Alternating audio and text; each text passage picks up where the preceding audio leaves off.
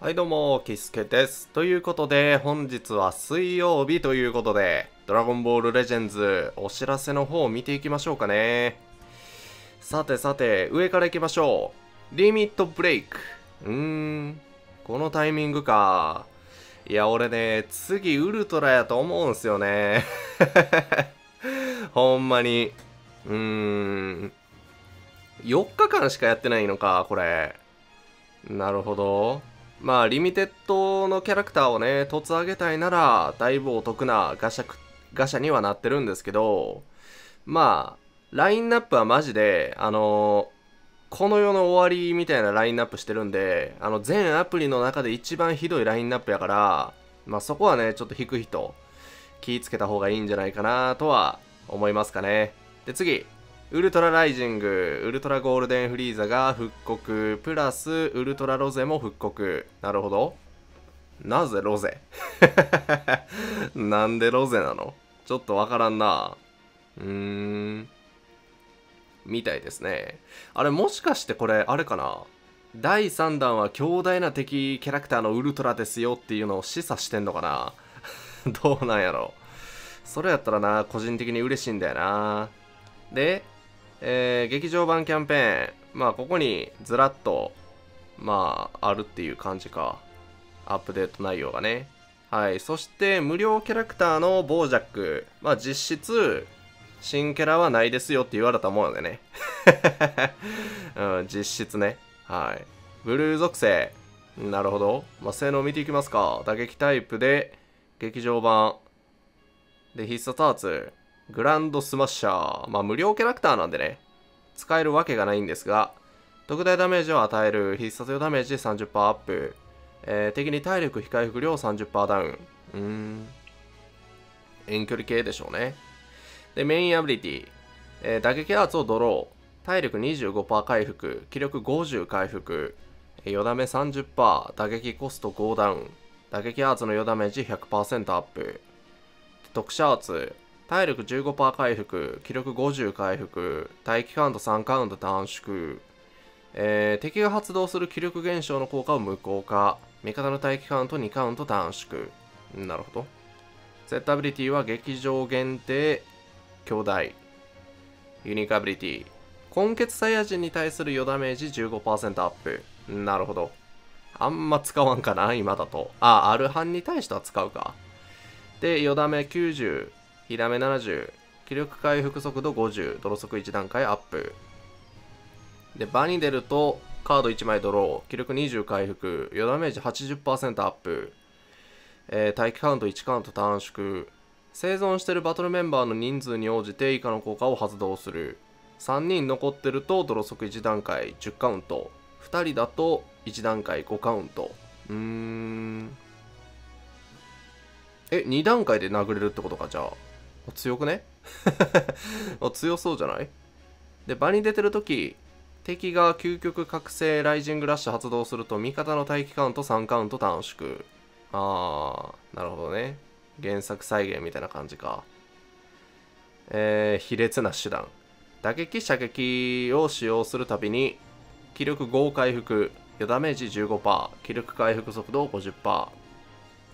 で、えー自身以外のバトルメンバーがアーツによる攻撃を受けると、生存しているバトルメンバーの人数に応じて以下の効果を発動する。3人、余ダメージ25%、特殊カバチェン無効15カウント。うーん。なるほど。自身以外のバトルメンバーがか。めっちゃ使いづらくね めっちゃ使いづらいな。で、2人だと、よだめ15%。えー、特殊カバチェン無効15カウント。うーん、なるほど。味方減ってる方が弱いんや。バフ能力は。なんでだ？うーん。実際ボージャックは味方に頼ってたんだよっていうそういうことなのかなめっちゃ使いづらいなこれ いや俺ねなんか敵の攻撃を受けた後10カウント特殊カバチェン無効みたいな能力あるやんまあ有名どころで言うと変身ご飯ビーストとかさそういう能力でしょ？あれもね俺使いづらいなって思うんすよ。やっぱまあアーマーで突っ込めばいいっていう話なんやけど。まあそれそれでも使いにくいのに自身以外の味方が攻撃を受けるとか。うん。で場に出てる時敵が交代すると、えー、カード1枚ドロー体力5%気力30待機カウント1カウント短縮、えー、交代時リセット。で味方の劇場版イベント限定強大な敵の余ダメージを15%アップと。うん。いう感じですね。まあ弱いっしょ。まあ弱いだろ。うん。何も考えなくていいっぺ。マジな話。ってな感じですかね。はい。でえー、京都。はい。あれ京都もうリセット入んの？早くね？なんかすげえ早く感じんねんけど。えー、レイドじゃないもんね。今回の敵は孫悟飯か。お、ユニフラあるやん。うわ、フルパワーボージャックのユニフラだ。えー、寿命が少しだけ伸びたようだなということで、装備条件は劇場版。スロット1が必殺余ダメージ10%。スロット2が射撃防御25%。えー、バトルメンバーに劇場版3人いると射撃攻撃10%スロットさんはそれの打撃バージョンか。うん。なんかさまあこれはただの憶測でしかないんですけどスロット1がさ厳選できるようになったやん。厳選できるっていうか絶対強化できるようになったでしょ？課金アイテムで。あれからさなんかスロット1光らなくね？ね。あ俺の勘違いっすか？どうっすか？皆さんそんな気しません？だからスロット1ねえなんか絶対強化できるようになってからスロット1個目光らなくなったなって思いませんか？どうですか？気のせいだったらいいんですけど。ちなみにレジェンズ運営は平気でそういうことします。はい。信用はもう地の底なんでね。埋まってるんでね。モグラかよっていう。で、フラグメント。おおターレス。これは実質ターレスは来ないよってことなのかな えー、専用ユニフラか。えー、スロット1、体力15%。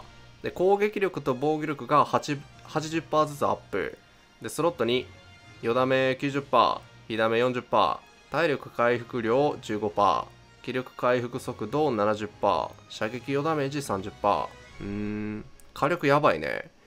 スロット3、一番いい能力が特殊アーツ使用時、えー、ドロ速1段階アップ、気力回復速度50%、特殊カバチェン無効10カウント、強いやん。で、場に出てるとき、特殊アーツをドローするたびに、手札3枚以下の場合、カードを4枚までドロー。え？どういうことこれ？特殊アーツをドローするたびに手札が4枚になるってこと？へえこれびっくりせえへんでも。うわ増えたってならへんかこれ。面白いね能力的には。なるほど、まあ、確かにね新生児の実食った時の恩恵がまあ初期のキャラクターやから少ないんでね。その辺がまあ調整されたっていう感じか。なるほどね。泥速1段階アップ。発動回数1回なんかこれ。うん。まあでも消去。あれか。カウントは書いてないからまあ消されるまでは続きますよみたいな感じですかねおそらく。なるほどね。はいはい。面白い。でチャレンジバトル。えー、ああこれか。超高難易度。のイベントっすね。はい。決勝500個。前まであったっけ？ここに決勝って。いや、ちょっと覚えてないな。あったっけな。リミテッドマルチももらえる。うーん。みたいですね。はい。ほんで？あ、チャレンジバトルって、なんだ？なんだ？ああ、俺が思ってんのと違ったわ。ごめんごめん。あなんか仲間4体選択して一緒に戦うみたいな。巨大ボスレイドみたいな。そういうあれじゃなかったわ。ただの？チャレンジバトルか？OK。で、友情への道。なるほど。えー、ステージクリアで友情ポイントがゲット。はい。みたいですね。まあ、これは嬉しいんじゃない？で、えーブロリーのステップアップガシャが、えーリニューアルとはいかずグレードダウンっていう感じかそうっすよね2倍がなくなったってことやもんねこれ多分グレードダウンで開催 お言葉にするとえぐいよな。グレードダウンして開催します。どこにそんなゲームあんだよ。でレーティングティアリスト。まあボージャックが入ったって感じか。なるほど。あれゴジータ4もなくなったって感じ？あまだいるわ。でレジェンズウィークエンドね。はい。でゲームアップデートのお知らせ。一部テキスト修正。各種データの更新。で以上かな。以上っぽいね。トップ10キャラクターは？29日。結構最近やな。あーこんな感じなんや。えブロリーこんな使われてんの？ほんまに？魔人ブーの方が体感はね合うなって感じするんやけど。そうなんや。みたいですよ。はい。以上か。OK 終わりっすよね多分。3ページ目以降はもう いにしえのアップデートになるもんな。2022年 やって。いつやねん。うん。うわ2021年もあるわ。はあ。てな感じですね。はい。ということでもう2020年もあるわ。すごってな感じでした。いかがだったでしょうか。まあ特に言うことはない。アップデートって感じかな。はい、えーお疲れさんでした。さよなら。